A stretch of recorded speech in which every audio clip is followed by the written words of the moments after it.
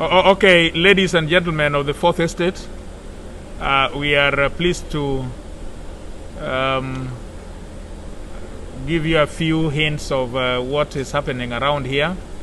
This is uh, a meeting which has been uh, organized jointly by uh, Anti-Corruption Authority, Anti-Corruption Commission, together EACC, together with the JLAC, that is Justice Legal Affairs Committee of the National Assembly. We are here to compare notes. As you know, uh, National Assembly, by virtue of the Constitution and the statute law, is the institution that oversees matters of corruption uh, in our country. Uh, the committee that the standing orders have given that mandate is Justice uh, JLAC, and this is why it is important that uh, from time to time we have regular meetings in which we are able to understand each other on the efforts that are being done to accomplish this mandate. We are here with the commissioners and the secretariat of the commission. We are here with the members of uh, JLAC.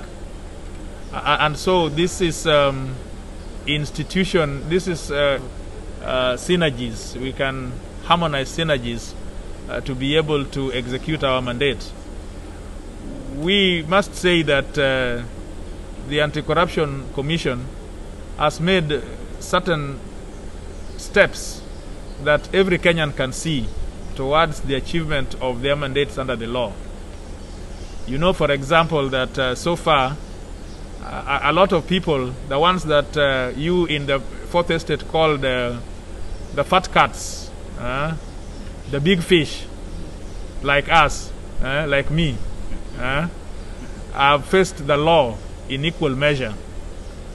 If you think about the leadership, whether political class or whether in the executive or in the county leadership, you have seen many of uh, instances in which uh, they have been brought to law, they have been uh, investigated, and files have been processed to the prosecution people um, who have taken them to court. Um, the process of prosecution, investigation, and prosecution and conviction is a teamwork.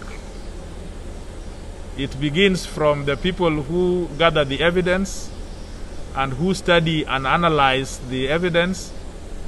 It also goes to the people who can present that information to courts of law. And then it continues to the people in the judiciary to process that information and be able to secure a conviction or an acquittal. Uh, we should not al- always be thinking about convictions. Acquittal also is a process of law that uh, makes a, a closure to specific things that have been committed. And so when we are here, uh, the public would really wish a lot to be done by the Commission. But as you know, it is a chain of events. So we are trying to find where this gap, where there is a gap, and put it together so that that system can work seamlessly.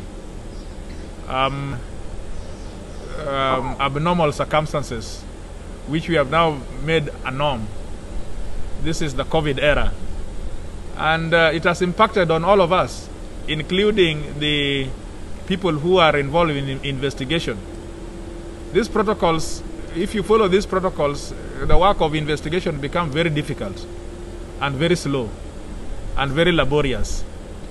Uh, and uh, these are things which we had not seen before. So we have also come to see how, under such pandemics, because pandemics will occur, probably this is COVID, another will come in another form. We want to see if we can uh, have legislative framework of how to deal with the issues under uh, such pandemics. Um, we are meeting for after a very long time. In fact, since COVID hit, we had not had a meeting.